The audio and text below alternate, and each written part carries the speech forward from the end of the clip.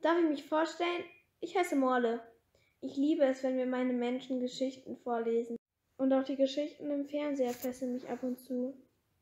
Da gibt es sogar ein Foto. Das suche ich euch nochmal raus und zeig's euch am Ende.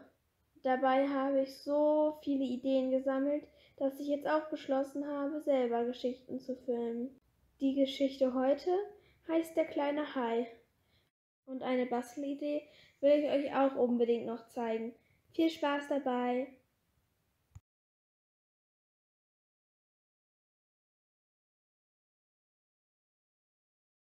Es war einst im Indischen Ozean. Da verabschiedete sich ein kleiner Weißspitzenriffhai von seiner Mutter und zog ins weite Meer hinaus.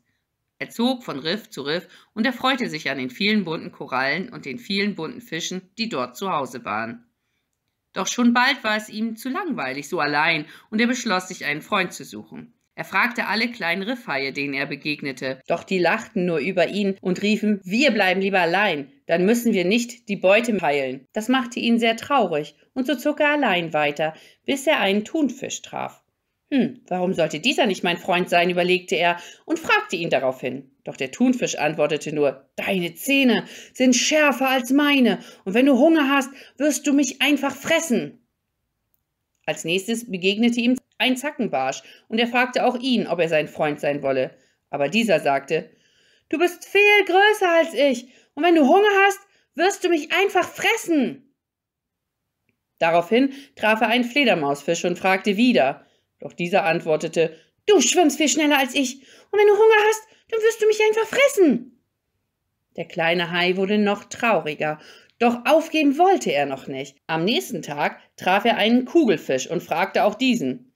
Kugelfisch, willst du mein Freund sein?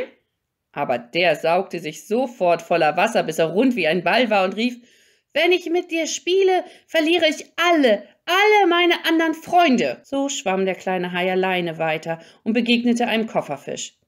Kofferfisch, willst du mein Freund sein? Nein, du bist zu klug. Gegen dich würde ich beim Spielen immer nur verlieren. Der kleine Weißspitzenriffhai verstand die Welt nicht mehr, und als er einen kleinen Rotfeuerfisch auf einem Korallenblock sitzen sah, wollte er es ein letztes Mal versuchen. Hallo Rotfeuerfisch, willst du mein Freund sein? Doch dieser stellte sofort seine giftigen Stacheln an den Rückenflossen auf und sagte, ich sitze lieber auf meinen Korallen, anstatt mit dir zu schwimmen. Nun hatte der kleine Hai endgültig genug und beschloss, nie wieder jemanden zu fragen.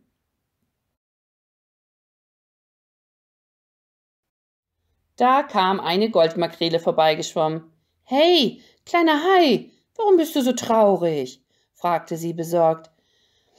Der kleine Hai antwortete, ich bin nur traurig, weil niemand mein Freund sein will. Sie haben Angst, weil sie glauben, ich sei in allem besser und stärker als sie.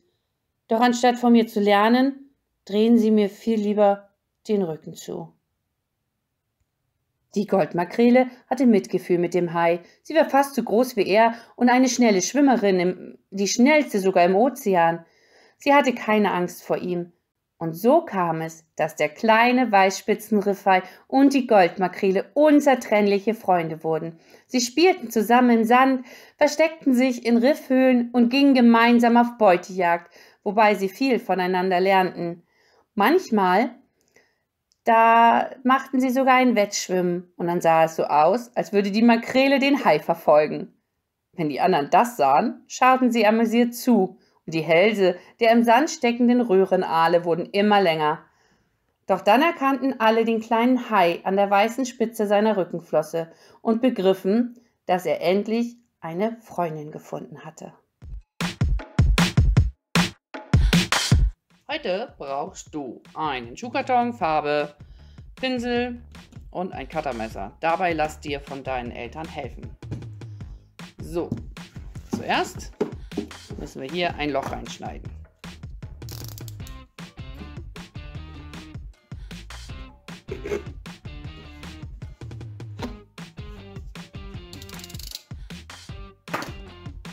Nun hast du ein Fenster. Jetzt wird hier drinnen bemalt.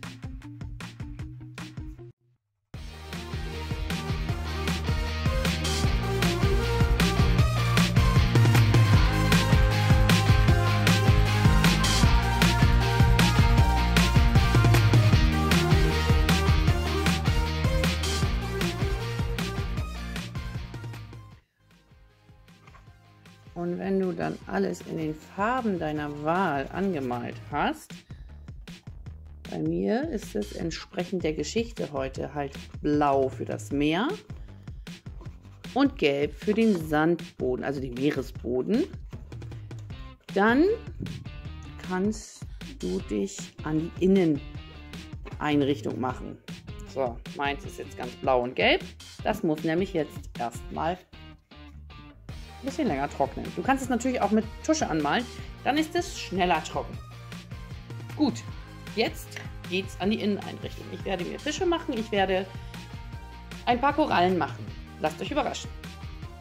Das nächste, was ich anmale, ganz, kannst du ganz schlecht sehen, denn das ist eine äh, Klarsichtfolie.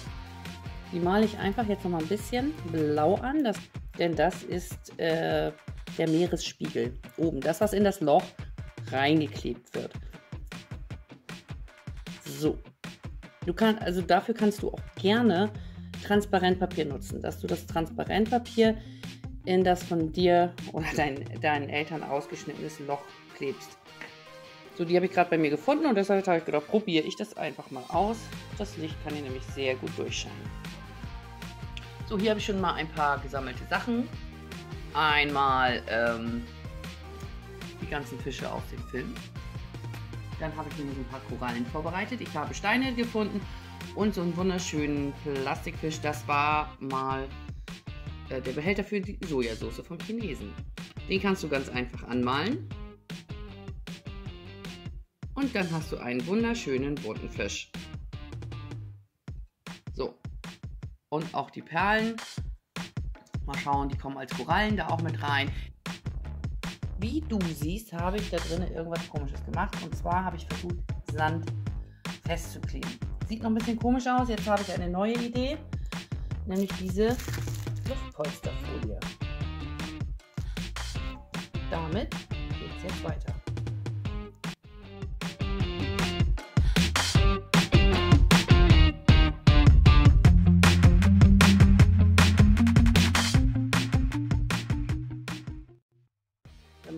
Wieder mit Kleber arbeiten muss, mache ich jetzt einfach ein bisschen Sand auf die feuchte Farbe.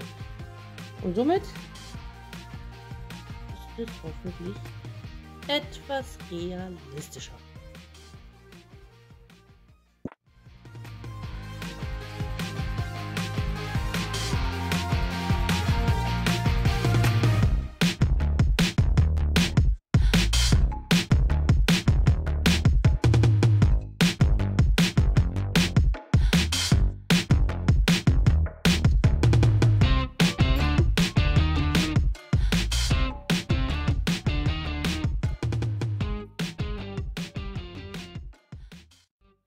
Alle Vorbereitungen sind abgeschlossen.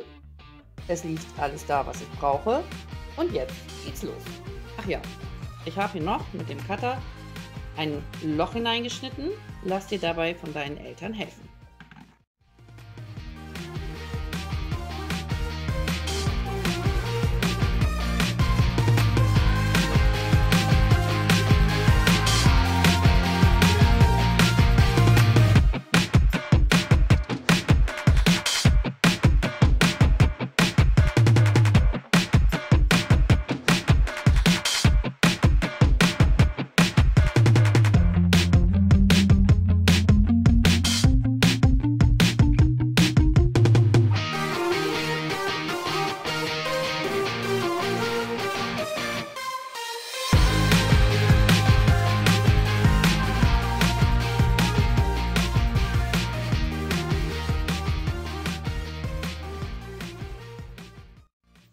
Fertig.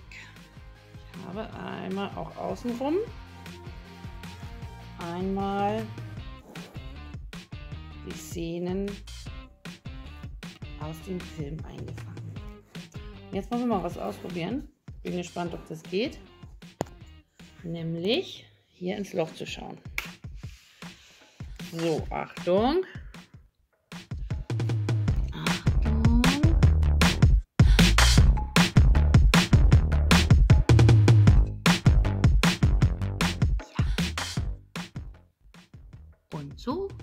Kannst du auch einen Guckkasten oder Schaukasten, wie auch immer man ihn nennen möchte, herstellen.